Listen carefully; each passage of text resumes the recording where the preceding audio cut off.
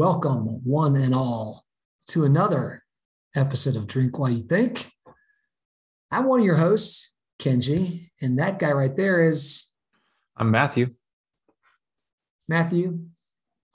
Who's our sponsor today? We don't have a sponsor right now. It's really sad. We're hoping that somebody somebody needs to send us beer, um, and uh, then they'll be our sponsor. If I send beer to you, can I be the sponsor? You can. Okay, I'll do that. I'll send beer to you. I think okay, you're so- going to be the sponsor. I heard. I heard the uh, porter is almost brewed. Is that true? It is. I'm giving that about another week or so, and it should be ready for testing. So, oh, that's. I might volunteer for testing on that one. I, I figured you would. Um, what do you What do you drink it today, man? I'm drinking today. This is the Tivoli Brewing Company. This is their Mountain Squeeze Juicy IPA. And can you, I don't know if you can see that. Look at the date of the brewery 1859. Well, I'm like, hoping that's not their born on date. So, geez, I hope that either. It's um, it's a Colorado brewery. Apparently, it's Colorado's oldest brewery. Oh, it foamed up on me, making a mess on the desk. I'm spilling beer. We're already having problems. Um, it's oldest brewery in Colorado. They've got a. It's kind of cool too because they've got a um, a program with the university where it's like a co-op almost. Like so, you can get a brewing degree why did I know about this? And you can go to like Metro State University and you get like an internship with these guys at Tivoli. And you get to brew beer as part of a college degree. I'm going back to school, dude. I'm going to pull the Rodney Dangerfield and go back to school and do that. Also, I'll say real quick before I want to hear yours is um, I had to look it up. I'm like, 1859 is like that legit like and i look back at the history of it, it looks like it changed hands a few times and shut down for about 15 years and you know but they're still in the same facility they were that's been upgraded a few times so you just got to market things right right it's just a marketing kind of i guess so what are you drinking i'm going with closer to home three taverns hmm. slay the psychonut uh, it's an eight percenter uh, so we got a, a, pretty hefty beer here. Um, it's um it's a coffee milk stout. So we'll we'll see um, like see how how it goes here. So I had yeah, these at the tailgate the other day. So oh, yeah. All right. Looks like up your that looks your style for sure. Yeah. Cheers, man. Cheers, dude. Hazy IPA that I'm doing. Pretty good so far. Good color, all that. Okay. okay. This one has a, a, really strong almond flavor. I thought the coconut, but it's like the almond is is chocolate almond and coconut. So the al- almond's a little bit overpowering. It's interesting. Wow. Okay. Really coming through today. Okay. Interesting. So um, I thought I mentioned, you know, you got to brand things and market things and 1859, oldest brewery. I want to talk sales and marketing today, partly because the beer made me think of it. But also, we were just at a conference. We were just in Nashville, uh, kind of at a conference, kind of doing our partner retreat. We thought we were going to do some drinking while thinking from our retreat, which we've done in the past, but we were too busy having fun running around in Nashville. Um, but an interesting thing happened that's happened to us before. And this was the question kind of came up amongst some other accountants and accounting firms about sales and marketing and kind of what does acuity do? And without giving it all away what was the basic like punchline? Like what, what happened like when that came up in front of you? Like oh tell us about yours. Like you just had to kind of well i mean it, i mean it's a complicated question i've found and i think you've been put in a situation if you're if you're in a group of people that have like a 15 person firm or less, right? Where they're doing the sales and marketing. So when you, when when they're asking the question like what should we do for sales and marketing, they're talking about what should I do, right? Yeah. In sales and marketing, like what what can I change, you know, in that 15% of my time or 10% of my time that I spend on sales and marketing. So when we get that question, I think both of you and I have found, and I think you've actually even been asked to just not speak about what we do, and like by by a panel arranger uh, sometimes. So I I, I found myself yeah. in that situation this time. Like they didn't nobody asked me not to, but I didn't feel like my perspective would be productive for a smaller firm. Yeah, and so I think that's kind of the teaser for us is we're basically get told at, at times don't even bother talking about your sales and marketing because it's just it's too out there. It's just too different. But I thought we'd dig into it a little bit, maybe try to break it down a bit and and hopefully help some other firms out there like today that some friends who are watching other firms who are doing it. Sure. So I got a, I got a series of some questions. Okay, let's start with the first question. In one word, how would you describe Acuity's sales and marketing function? Volume. Volume. Ooh, good word. Good word. Volume. Yeah.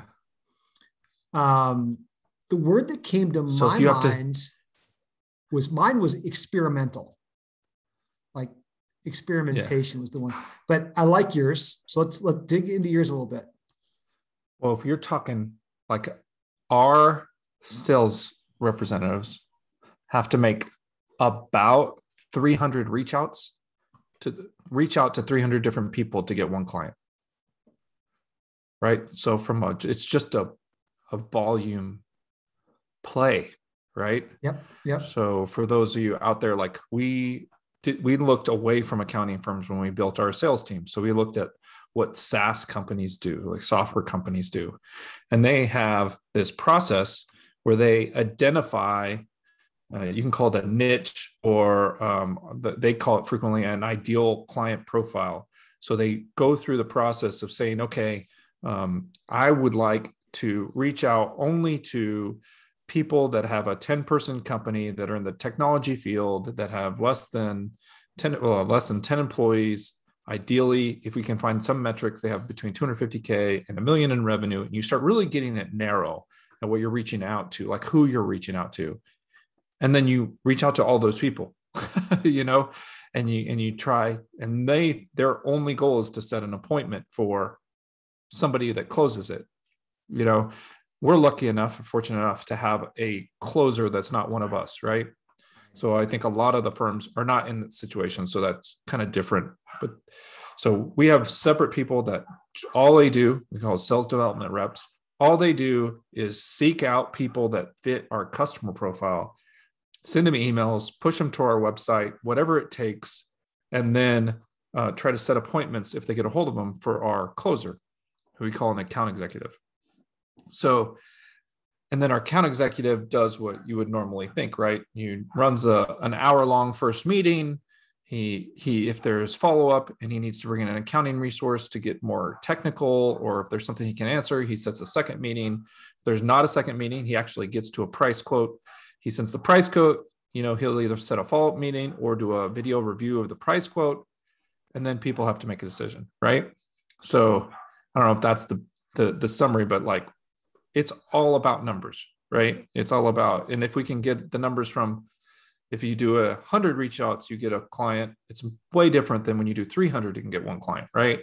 So like the, the math just kind of compounds on itself. So how are your dogs doing today? Dogs are doing great. Can you hear them barking in the pack? You can hear them barking? A little bit, a little bit, not too bad, uh, a little bit. Because um, that's way outside. I'm surprised you can hear it. I got my earphones in, so I, I couldn't hear it. Um, I, I think that's that reminds me of of a quote or a thought process by kind of a business writer I like, Jim Collins, who wrote Good to Great, and he talks about um, firing bullets and then cannonballs, right? To where, and this maybe gets a little bit into my, maybe almost a combined of our two words, experimentation and volume. Like you're, you're, you're making small adjustments, you're firing small bullets, pinging. And then when you get on something, you're firing cannonballs, you're firing the big, taking the big shots, the big numbers, the big volume through, right? You find something. But it is important, I think, people think about, again, it throws people off um, when they think about the the pure volume, the number of no's you get, or right, or non-responses you get. So um, let me ask you this, and let's kind of keep moving through this. Um, I was going to ask, you kind of identified it like what, how this differs from most traditional CPA firms. We kind of talked about that a little bit, but I mean, I guess you were in a business development role when you were in public, right? But did you have, you didn't have any form of this well, type of outbound, right? No, no, no. I mean, I mean, there was one guy firm wide that that they were testing out some telemarketing, they called it, but but they weren't they weren't targeting things. They weren't. I mean, they they weren't running. So when we target somebody, we'll we'll send five emails and make three phone calls for every person we target, right? So like that's different than you know getting a, a phone call here or there, you know, from a telemarketing support. I mean, the difference between the accounting firm model like that I was running in um, in, in a bigger firm was I was the closer, right? So it was a relationship sale. You're trying to to get a big audit, like it's a thirty-five thousand dollar decision or a sixty thousand dollars decision or hundred twenty thousand dollar decision for an audit. You're trying to get referred in. It's a different kind of sales process because you're trying to get people that know that person to especially the bigger you get uh, once you start getting over 50 or 60k you started needing people to to we we call it the good word like put a good word in for you right? Uh, on the side um, you know where you'd have people that knew the person either by scouting them on linkedin or somewhere else through the organization. And you could network out uh, an organization I mean, for the stuff that we're selling, the average, I mean, our average customer spends, you know, eleven hundred bucks a month. So you're talking about thirteen k a year.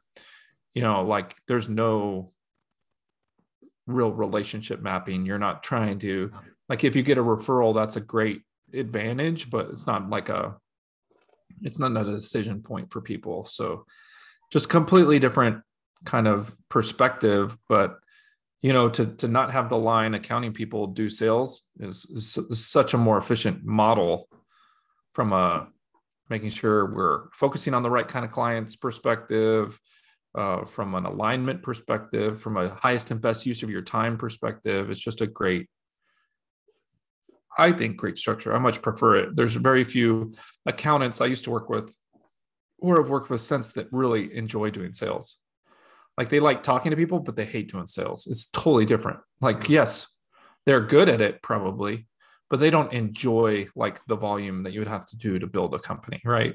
Yeah. Um, I'm going to let you take a drink.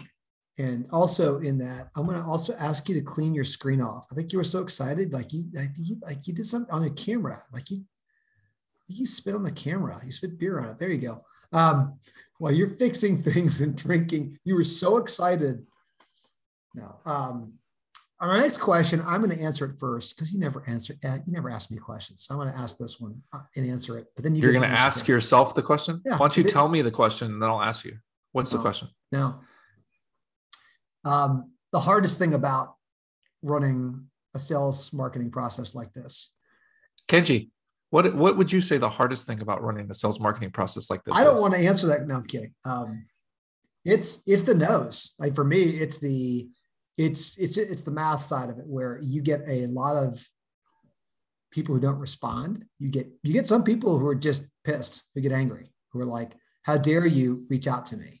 You know, and that is an uncomfortable place for most people. It's particularly uncomfortable for accountants. I think it's just a, you know, we're used to being the trusted advisor, and you're used to being kind of reserved, right, and conservative. So being a bit aggressive and getting people to kind of slap you down and say, no, go away. Like, don't, how dare you show up in my inbox? How dare you leave me a voicemail, right?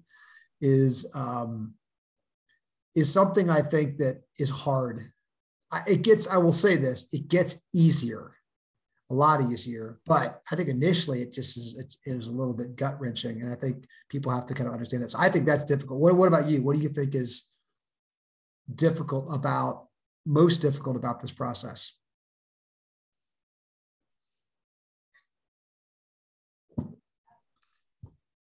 I, I, mean, this would be a personal thing. I'm not a micromanager, right? And so if you have somebody running sales and marketing, they need to really be a numbers person A B testing what's working, what's not working, making more frequent changes.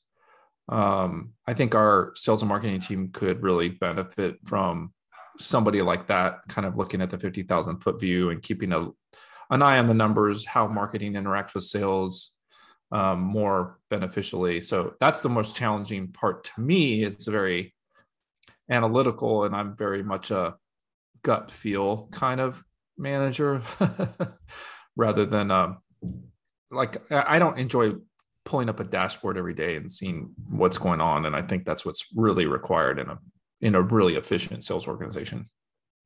Yeah, I agree. It's it's it's tough. There's a number of things that are tough about it. Um, I think those are that, that's one actually.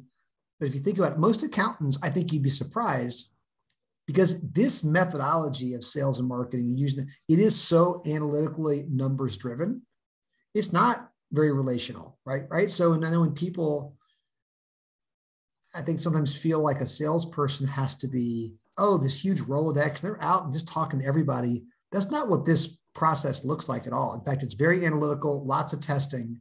And so that part of it may be attractive to many accountants. Just, just know that the numbers are going to show that like you get a very low percentage of hit rate on it.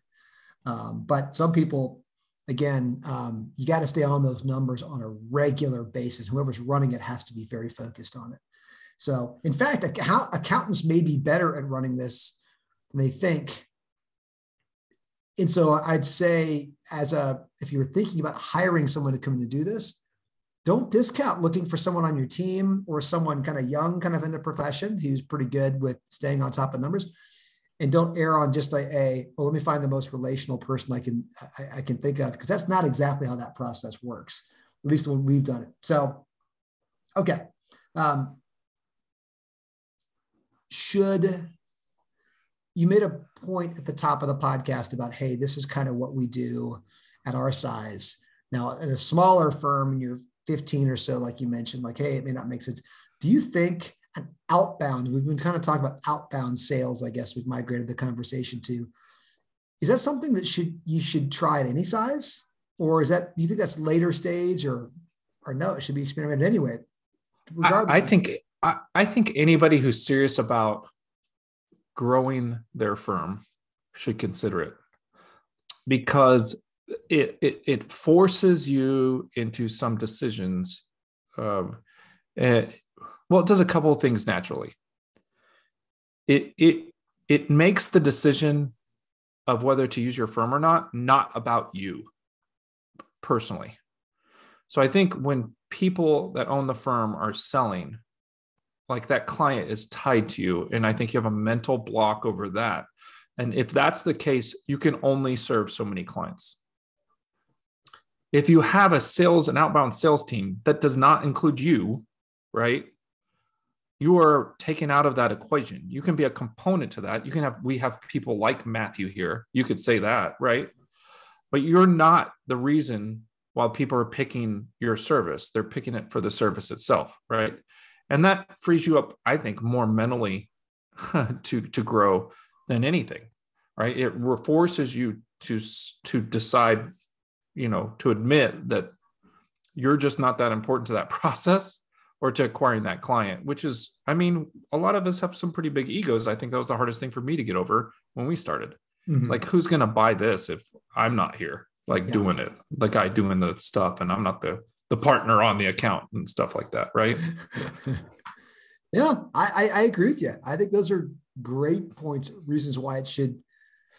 Everyone should consider this if you're going to be a growth minded firm, which I think all firms should be growth minded. Um, I I also like it for the reason of I think it builds an interesting muscle for you as a firm. I think it does the same thing for someone going into that role. You mentioned the SDR role. It's a tough role. Like it's a grind. It's a it's a tough role. It's a grind. And we we came to the re, you know the recognition that it's a it's probably a couple years and that person needs to be moving into something more. It's like you wouldn't want to be a staff accountant. Most people wouldn't in a public accounting firm for life. You're trying to grow and go. But there's some things that are important to learn. I think the learning organizationally, the learning as a team member, an individual is it just gives you grit. It gives you resilience. Um, you got to work those numbers. You got to get a lot of no's. People used to talk about um, having early jobs in door-to-door sales, like like you get that door slammed on you, and or sometimes people talk about working in client service, like, hey, you you have to work in a restaurant or hospitality at some point just to deal with different personalities and I think there's something to that with this sales model of where it just does build a little bit of grit to you for you. And like, hey, we're going to try things out. We're going to get a lot of no's, but we're not really going to be afraid. And it kind of builds a bit of that muscle of like a little toughness to you of like, okay, well, that didn't work out so well, but like, hey, it's, you kind of keep going, you keep pushing through. I think as a young person going into sales, if you're interested in sales or business development, whatever it might be, I would encourage people coming out of school to look at how prospecting works, right? The sales development role. So, um, and you can do this without with part-time people. There's lots of ways for firms of all sizes to try this out, but it's a good way too to run experiments. So I, I, I think I do think it's something that most firms should should really consider. It's not something just for a, a larger firm like us or even a moderate sized one. I think you should be thinking about it this way because otherwise you're really limited to growing It's just as fast as as fast as you can based on your personal relationship network right and that's not that may not be fast enough for most people and that's that may not right. be enough growth so um all right uh what's okay we're going to assume and i think in this day and age everybody every firm has a website Please. Everybody has a website. Yep. Please tell me they do. Um, what is the next thing you should spend on? What's what's dollar one spent on after at least there's a web presence? What would you do? I mean, how, what would you do? I hate marketing. I just don't understand it at all. Um, said from the person running marketing and sales at our t- at our team. Um, you know, I don't know. It's tricky, and I don't. I don't know if I know either. No. Um, you know, every I I always joke. I call marketing eating our vegetables. Everybody tells us it's good for it. We just don't know why. So we just eat the vegetables. Um, so I I think likely um, putting some valuable content out on uh, a blog um, is at least once a week um, for a period of time, you know, um, at least once a week, putting out new content on a blog. And um, if you are running a plugin on, on WordPress like Yoast or something like that, where you at least you you write the blog something that makes sense that's helpful to people that addresses a need that that your target client might be interested in just something you know about I, I really encourage people to do it just whatever came up that week with another client and then turning it into a blog.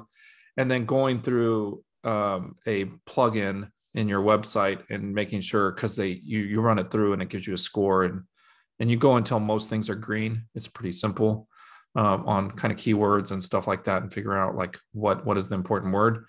I think that would probably be number one. I think um, at the end of the day um, you know you can try to game the system and try to do whatever you want to do but google is getting smarter and good solid content is rewarded or will be re- rewarded long term. Now you have to do other stuff like republish and refresh these things you know once every two or three years uh, or stuff like that which is a process we're kind of doing now. So we we ate our vegetables for the first i would say five years. So we have 400 blogs now and we're going back through and doing taking anything older than three years combining similar topics and making longer form blogs. So it used to be that 300 word blogs were in vogue. Now people want to read 1500 words. So now we're combining them. Like our goal right now at Acuity is to have 150 quality blogs from 400. So we're actually trying to have better, longer form content.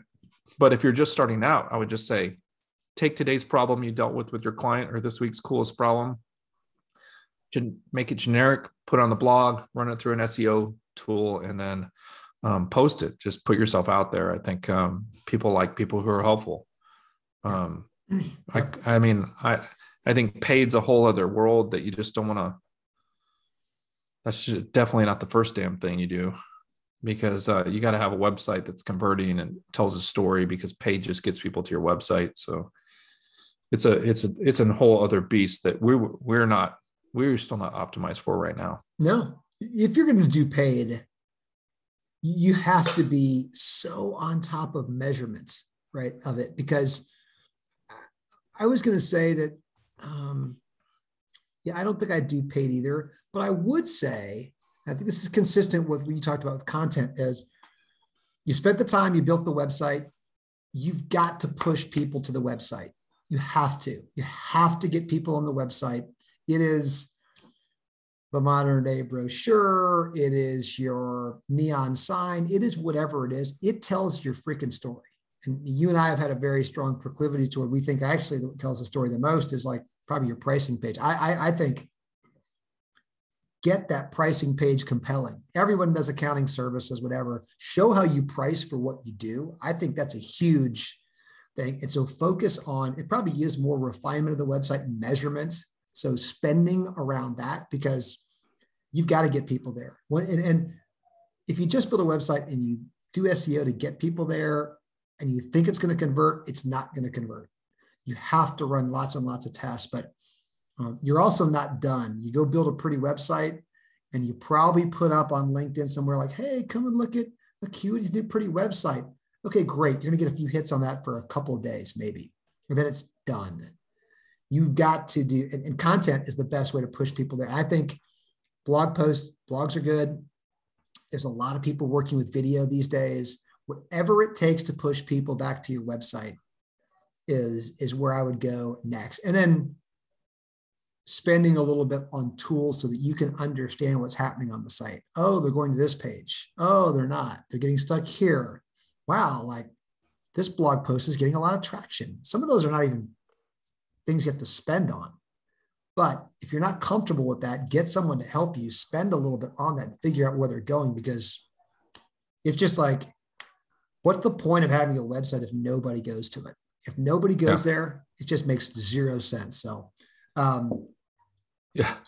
Yeah, we still have that one blog I wrote in 2012 that's our top blog ever of all time. It's about guaranteed payments versus draws. And we didn't even do taxes at the time. No. It just had come up with a client. So I wrote it down. And then over the years, every three or four years, we make something prettier for that thing. We put some charts on it. Then we added a call to action. And here's a bonus for anybody who's hung out this long who won't. There won't be anybody who, who listens this long.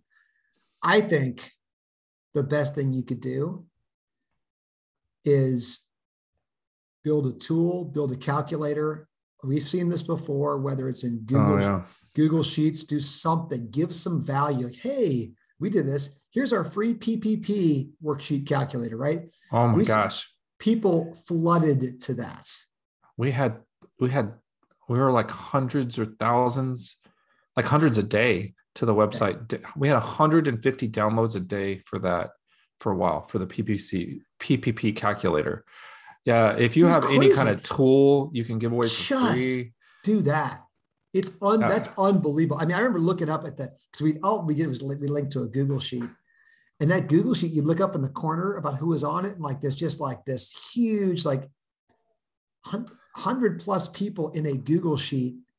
You're like at a oh time, my, at a yeah. time, at a time. It's crazy. So I, I would spend some time thinking about what you can give away that has some value. Um, there's my bonus for people who stood around this long. Um, last question before we start rating the beers. Um, we've been doing this, I think, around seven or eight years. We've been kind of playing around with this. What do you think is the single thing that's changed the most in that time frame from what we've what have we changed the most in the way that we approach sales and marketing since we started?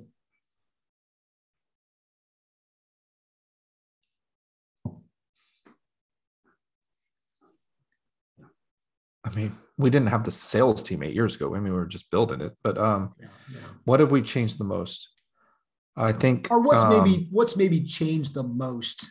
I think what's changing the most right now is video. and video and mobile. Um, we're about to have to be like our buyers are about to be mobile buyers in the next 10 years, um, maybe the next five years. So I think the biggest thing we've changed is that people are probably looking at their our website from their phones or is about to change. I think is a more important thing is we're having to start getting ready for that um, which is a different than a desktop experience. And we're just going to have to be mindful of that on the website side. Um, from the just, I mean, that's uh, what do you think? Because uh, I mean, I, I, there's think, there's so much has changed, like just from cloud perspective in the last. I, I think the numbers have gotten even harder on nobody. Nobody, very few people respond over email or answer the phone right? So people think that's a failure. Oh, the model of outbound doesn't work. That's not true. It's just people are so used to it, right? No I mean, you you're still a little bit of an odd duck, but you were the one person for a long time I knew like you'd answer every phone call. But even you don't do that anymore. Like nobody does that because it's just everybody knows when a spam call is coming through or it's labeled as spam or it's unknown. Nobody answers that. So you don't get anybody offhand who goes, oh, that's funny. You happen to call. I was looking for bookkeeping or tax service. That never happens. So everyone's wise to that. But that still puts them into your funnel. That still, you can still have an interaction with them. I think people are probably more, in some ways, okay with it. Like, yeah, I'm just kind of used to it. And then if they end up coming back to it later on, that's fine. So I think those numbers and conversion rates have gone down, I would say. Uh, but I agree with you on video. And I also think you and I very much believe this that it's going to come up soon to where people do want to buy online right there without talking to a salesperson. That yeah. is not quite there yet. It's getting close, but it is completely logical to me that people are going to want to buy anything and everything exactly like they buy things on Amazon. That's what we're closest to understanding. That's what we, we all prefer is the Jeff Bezos company of Amazon, you know all that. That's how we want to buy. We've been conditioned to buy that way. So our experience is we want to buy that. We want to go there and go, what are what are rankings of this? And what have other people said about Acuity services? How do I make it easy to purchase in one click? How do I get it delivered to me quickly? How can I return it easy if I need to? That that's that's coming. That's just how people prefer to buy things these days. And I think that's that's going to change. Well, yeah, and the, if you look at the last 12 months, the biggest change that we've seen is that two thirds of the people now schedule first appointments online versus through our sales reps. Mm, yeah. So yeah. even if they originated with our sales rep sending them an email, they don't want to talk to, they don't want to go back and forth on email trying to schedule a time. They want to go to our website, pick the time that works for them, and then talk to, as we say, talk to Tyler because that's our yeah. sales guy, you know. Yeah. So so I think I think you're on point there. So okay, if you haven't, yeah, if you haven't checked out Calendly, we integrated with their website. That's how we do all our first appointments now. It's really kind of great. So use shout out Cal- to an Atlanta company. Use Calendly, not Acuity. Acuity used for accounting. Just don't use them for scheduling. Not Acuity scheduling. Sorry, Acuity yeah. scheduling. We prefer Calendly. But we um, like we like a Calendly guys. Those they they were in the office with us before. So they're our, they're our, they're our friends. So okay, I'm gonna rate mine uh, it's a juicy IPA. I was going to give it a little bit of a lower score. It's got 325. It's okay. These types of beers, you got to drink pretty fresh. And I, since I got it like in a, almost like in a subscription service, they don't, they don't tell when the born on date was. I hope it wasn't 1869, but it just feels like it needs a little more fresh. I'm, I'm going to go, I'm going to give it the benefit of a three, five. Yep. I, I, think it's just, it just, I, I didn't get it as fresh as it could be. Um, oh no, now it's and now I'm gotten logged out. Okay. Three five. Three five, huh? And I'm on the Slay the Psychonut. Okay. Slay the You're, what? Slay the Slay the Psychonut.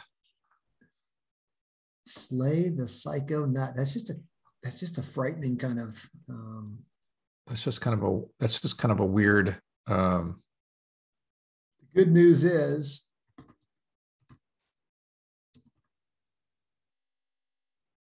Slay, S L A Y. I was thinking Christmas. I'm sorry. There it is. Did I just see though that um here it is. Okay. uh, yeah, I'm I'm not it's not a buy again for me. It's a three five. Ooh, a couple of three fives. That's a that's a that's a brewery like. I think something just popped up here a minute ago. We got some kind of badge or something that just said something about your one of your favorite places, Matthew. Some kind of invite to to uh what's um Wrecking Bar? Wrecking Bar is having some kind of Win. Oh, I I, got it. We'll go. We'll go that. We'll go there after all mine. If anybody's in Atlanta, go to Wrecking Bar to eat. It's the best place to eat in town. So it's great. It's my. Uh, it's my weekend place. Laura and I go all the time.